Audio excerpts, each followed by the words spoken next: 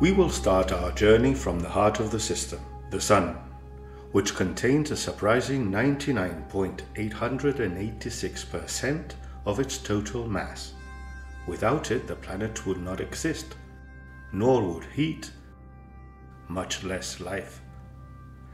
Inside, simple atomic nuclei, mostly hydrogen and helium, build heavier elements through nuclear fusion reactions that in turn emit large amounts of energy into space, following the formula of special relativity, E equal mc squared. A surprising curiosity is that it is estimated that every second, following the cited expression, 4 million tons of matter are transformed into energy, where c is the speed of light in a vacuum. In its outer layer, the photosphere, at a temperature of 6000 centigrade degrees, we are dazzled by its protuberances, gigantic arcs of gas that release the energy of millions of volcanoes, and also sunspots, colder areas with the size of the Earth that indicate the presence of powerful magnetic fields. The Sun like all stars, is a great living being in the middle of its life that breathes. Every six minutes, our star breathes in and out. Its gaseous oceans expand and contract, and there are complex waves on its surface. In Greek mythology, the sun is the primitive god Helios. In a deeper key, Apollo, the lord of light he takes to the skies in his chariot of golden flames, wearing on his head the halo that identifies him as the Astro King of the system that bears his name.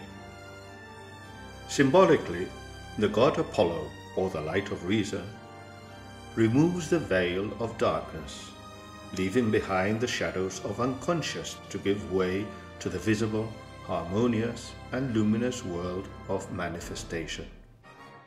He is a symbol of the Spirit, of the exaltation of the great ideals that are directed towards the borders that he must conquer every day. He guides us with his light, propelling us towards the search for eternal wisdom. It is also a symbol of progress, of the evolution of humanity.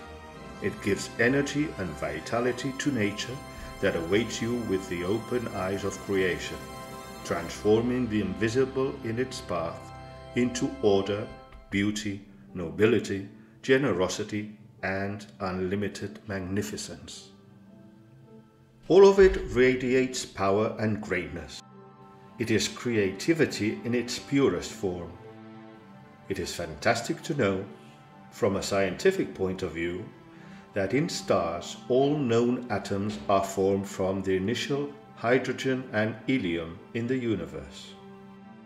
The Sun is the great protector and withstand of life and the supporter of the union of planets that revolve around it.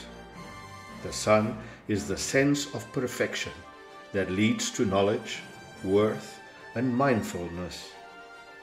That is why great civilizations and cultures have worshipped and placed it in the highest place in the hierarchy of our heaven.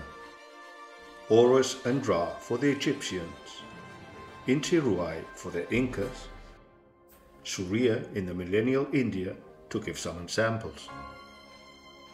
The sun invites us to use its strength, its brightness, and its power for transformation. It calls us to build the great work, the most important of our existence to walk the path perfection, which is nothing more than raising the soul to the immutable gold, to the perfect balance, the totality of the being that completes itself through courage, justice, goodness, sweet warmth, and kindness that radiates without limits.